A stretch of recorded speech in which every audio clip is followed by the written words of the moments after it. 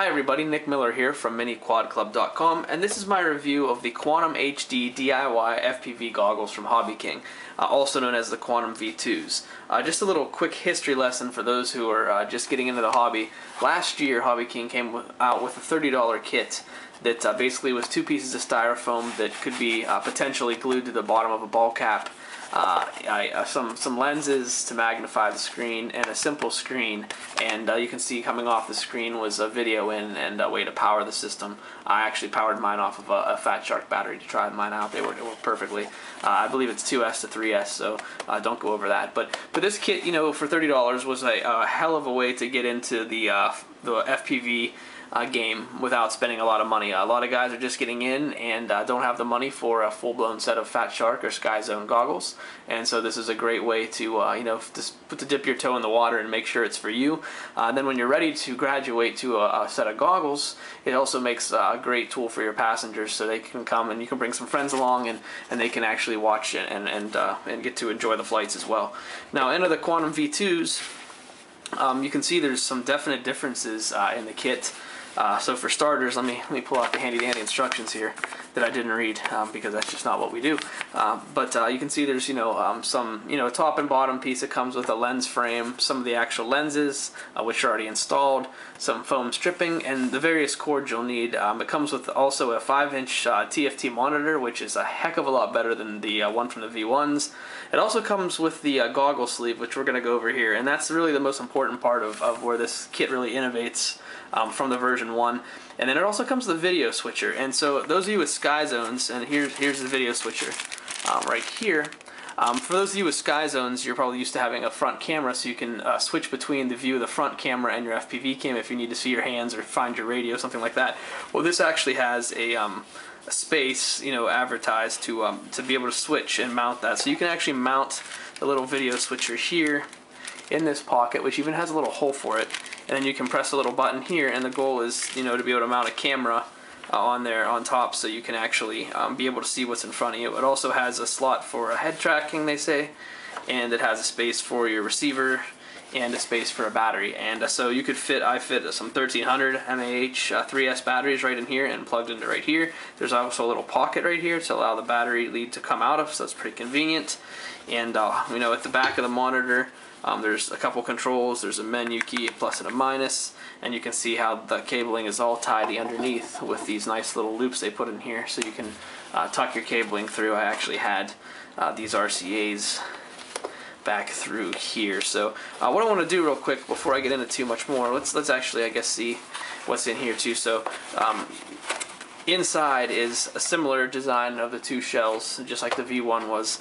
Um, a bigger lens with a smaller black surround. One of the problems with the V1s, as you can see, is how big that black surround is. And, and actually, hold on, let me let me show you um, what I mean. So, if I plug in these quantums here, you can see already on screen one of the issues uh, is how big that black bezel is inside there. So you're losing a lot of screen.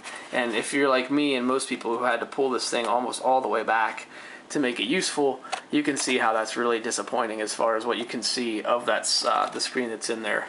Uh, there's a view of the actual screen and there's how much of it gets blocked top and bottom. So a couple issues with the design on that. Fast forward to the uh, newer version right here if I plug these in, not only can you see the, the large size of the monitor, but you can also see the smaller bezel and how much more picture that gives you. So that's a, 5 inch screen, uh, which is pretty gigantic, uh, which on one hand is great, and on the other hand is not so good. And let me, let me uh, get into that right now. So here is a pair of uh, Predator V2s from Fat Shark. And uh, if I light these up, first thing you're going to say if you haven't used Fat Sharks before is, wow, you know, how can you even see anything with such small screens? And I'm here to say that, you know, there's no possible way for me to show you on camera what these really look like. The best thing I can do is say that when you wear goggles like that with smaller screens is as if you're standing in a dark room staring at a, a small uh, projected screen. It's almost like having a floating TV screen in front of you. So they say that it's almost like having like a 50 inch TV 10 feet away from you, that kind of thing. So, um, but here's the challenge. So again, you would assume that the bigger field of view that these would provide because the, screen is so much bigger would be more beneficial. But for me personally, uh, my eyes got really tired really fast from one, trying to track uh, a little bit back and forth. There's a lot of surface area when you put your face inside here to look at. Five inch uh, screen is actually pretty big. And uh, the other issue I had, which I know a lot of other reviewers had focused on, is that the screen itself, the, the distance between the end of, of this from back to front and, and where this adjustment sits, I had to, like pretty much everyone else, run this adjustment all the way to the back corner to uh, to be able to get the magnification even close to being okay. And uh, and realistically, um, one of the suggestions that I had read about online and, and seen other people recommend was to take this back screen and, and actually move it out, and they actually hot glued it to the back of here um, so that it would seal itself up. And that extra um, distance that it gets from being installed on the outside was enough to help with the issue of being too close. But for me personally uh, my eyes did not want to cooperate with these. Um, doesn't mean it's a bad product. I think it's a great product for those it works for. But for me personally I, I couldn't uh, you know, I couldn't get them to, to my eyes to enjoy enjoy a, a long FPV session. That being said, uh, for those of you that have glasses, um, it's a real, real solid solution. Here's my glasses, and you can see they actually fit right inside there. So another big improvement from V1 to V2. Um, you can actually wear your glasses with these, and um, I watched uh, RC Model RC Model review and Bruce's review of these, and uh, was really glad to see his suggestion, which was, um, you know, if you um, aren't a glasses wearer and this magnification isn't enough for you, um, you could actually use some reading glasses and perhaps the reading glasses, um, you know, magnification level plus that of the uh, inside um, magnetic, um, sorry, magnifying lens uh, would be enough to um, you know to give you what you needed as far as the screen goes. But for me personally, uh, that's kind of why I had them set up in this order. So um, you know the V1s down on this end um, were pretty good for thirty dollars. A good place to start last year. Um, I highly recommend if you're gonna, you know, to step into this whole FPV thing now that you check out the V2s over the V1s. So I'm just gonna kind of remove these from the equation, which leaves us with the Quantum V2s and uh, goggles like the Predators. Now the Predators are still, um, to this day, still a couple hundred dollars to invest. I believe it's $250 for the kit, which does come with, uh, you know, a VTX and does come with um, some of the things you need a camera and an and I believe an antenna to start with too, which obviously you'd have to replace because the stock antennas, the rubber duck antennas, or whatever you want to refer to them as, are, are really you know kind of uh, synonymous with it's not working really well for our hobby. Um, but regardless of that, um, you know there is obviously quite a bit of, price difference between the two and don't forget you know you after you buy this you will need to uh, still buy yourself a receiver um, you know an antenna um, um, a battery because like kits like this come with a battery this does not. Um, but that being said uh, you know between the video switcher and the addition of the larger field of view space to actually wear your glasses in there and this this sock which actually keeps the whole thing um, you know on top of your head you know much like the the new headplay goggles it kind of fits on your head the same way. Um, I gotta say that for the money this is an extremely good value. Uh, the screen is of of good enough quality to where you're you know you're to be happy with it if, if it works for you.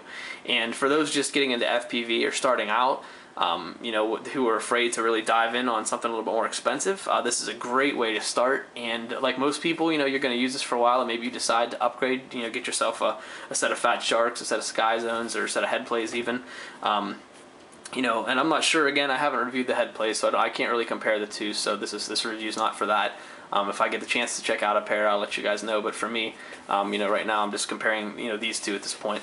Um, you know, uh, I think that if you were to graduate from these and and to pass these down to a passenger, I think that would be that would be fantastic for that as well. Or even better yet, find a buddy who who wants to get an FPV when you're ready to, to graduate from them and and gift them to them so that they can enjoy what we've come to love so much. So, um, you know, I got to give two thumbs up to Hobby King for you know going and creating a version two that is far superior to their version one offering. Um, is really has some great things. Uh, they have you know they really were considerate when it came to the pilot's needs between the VTX slots, the holder for the video switcher, uh, the slots for adjustment, camera mount on top if you choose to go that route. uh, the lipo um, holder that has an actual. Um, I love this little cut they put in there to actually run the battery out of. That's how I did it. The read the battery lead through, so that was really great too. And and the whole thing realistically. Um, is you know is not too bad. And uh, I think that you know again for those just getting into the hobby or those looking to try something new with maybe a larger field of view for the price you really can't go wrong with these. Uh, for me personally I prefer the the goggles for their portability as well but uh, again, thank you, Hobby King, for uh, sending these out for review. I think you guys are doing a great job. Uh, it's been a great uh, addition to the hobby. Um, since you guys have been around, it helped a lot of people get into the hobby for a lot less money, uh, which is a great thing. So keep on doing what you're doing, Hobby King. Uh, don't be afraid to check out the Quantum V2s if it's something you guys are interested in. They're definitely a quality kit. And uh, stick around for more reviews coming up soon from Mini Quad Club. Thanks a lot.